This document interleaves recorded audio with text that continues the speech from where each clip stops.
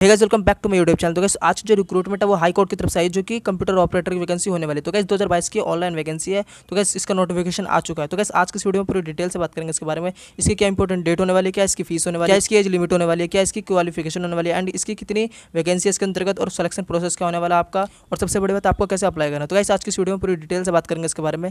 तो guys video शुरू करने से पहले अगर आप लोगों ने अभी तक मेरे चैनल सब्सक्राइब नहीं किया तो चैनल को सब्सक्राइब करें और प्लीज़ बेल आइकन जिससे मेरे न्यू वीडियो का नोटिफिकेशन आपको बिल्कुल टाइम पर मिल जाए। तो गाइस वीडियो स्टार्ट करते हैं बिना किसी के तो गाइस सबसे पहले बात करते हैं इंपॉर्टेंट डेट्स की। तो कैसे इसकी इंपॉर्टेंट डेट्स की बात करते हैं इसके जो फॉर्म है ऑलरेडी स्टार्ट हो चुके हैं, सत्रह मार्च से इसके फॉर्म स्टार्ट हो चुके हैं। और जो इसकी लास्ट डेट है, वो है सात अप्रैल दो हज़ार बाइस तो इससे जल्द से जल्द अप्लाई कर दो, ठीक है? तो सात अप्रैल इसकी लास्ट डेट होने वाली है।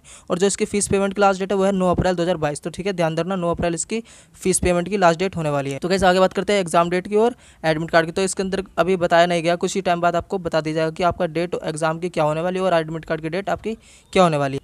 तो कैसे आगे बात करते हैं एप्लीकेशन फ़ीस की। तो कैसे अगर आप लोग general O B C candidate है तो आपकी हज़ार रुपये फ़ीस होने वाली इसके अंतर्गत।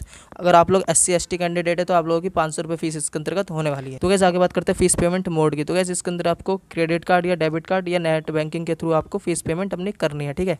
तो कैसे आगे बात करते हैं एज लिमिट की। तो कैसे इसके अंतर्गत मिनिमम जो एज मांगी गई है, वो है अट्ठारह साल और मैक्सिमम जो एज है, वो सैंतीस साल आपकी मांगी गई है। और आपकी जो एज है, वो एक जनवरी दो हज़ार बाईस के अकॉर्डिंग चेक की जाएगी। तो कैसे क्वालिफिकेशन की आगे बात करते हैं उसके अंतर्गत आपको सिंपल ग्रेजुएशन पास आपको होना चाहिए। अगर आप लोगों ने किसी भी स्ट्रीम से ग्रेजुएशन कर रखी तो आप लोग इसके लिए अप्लाई कर सकते हो। और उसके साथ साथ आपको छः मंथ का कंप्यूटर डिप्लोमा आपके पास होना चाहिए। उसका सर्टिफिकेट आपके पास होना चाहिए, ठीक है? तो बस टाइपिंग स्पीड भी मांगी है। इसके अंतर्गत चालीस वर्ड पर मिनट इंग्लिश में और हिंदी में टाइपिंग तीस वर्ड पर मिनट आपको इसमें से एक आना चाहिए, या इंग्लिश में या हिंदी में आपको एक टाइपिंग आपकी होनी चाहिए, ठीक है?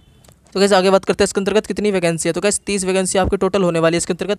और सैलरी की बात करते हैं, इसके अंतर्गत आपको पच्चीस हज़ार सौ से लेकर इक्यासी हज़ार सौ आपकी सैलरी होने वाली है। तो कैसे आगे बात करते हैं? सिलेक्शन प्रोसेस की। तो कैसे इसके अंतर्गत आपका रिटर्न एग्ज़ाम होने वाला है और स्किल टेस्ट आपका होने वाला है। और एग्ज़ाम सेंटर की बात करते हैं, पटना, मुजफ्फरपुर, पूर्णिया एंड गया आपका एग्ज़ाम सेंटर होने वाला है, ठीक है? उसके बाद गाइज़ आपको इंटरव्यू देना है आपका। उसके बाद डॉक्यूमेंट वेरिफिकेशन होगा आपका सिलेक्शन एंड जॉब लोकेशन की बात करते हैं, इसके अंतर्गत आपका पटना, बिहार जॉब लोकेशन होने वाली। तो कैसे आगे बात करते हैं हाउ टू अप्लाई की। तो कैसे डिस्क्रिप्शन में आपको लिंक मिल जाएगा, वहाँ से सिंपल साइट पर जाकर रजिस्ट्रेशन करना। उसके बाद आपको अप्लाई कर देना। जितनी भी आपकी इन्फॉर्मेशन होने वाली सारी फुलफिल करने के बाद आपको फ़ीस पेमेंट कर देनी और नेट बैंकिंग के थ्रू आपकी फ़ीस पेमेंट इसके अंतर्गत होने वाली ठीक है? तो वैसे आपको जल्द से जल्द अप्लाई कर देना ठीक है? और जो इसकी लास्ट डेट है वो आपको पता है सात अप्रैल इसकी लास्ट डेट होने वाली। तो वैसे जल्द से जल्द अप्लाई करो। तो वैसे वीडियो अच्छा लगा तो चैनल को सब्सक्राइब करें और प्रेस दबाया लेकिन जैसे कि मेरी न्यू वीडियो का नोटिफिकेशन आपको बिल्कुल टाइम पर मिल जाए। तो वैसे मिलता है नेक्स्ट वीडियो में। Bye bye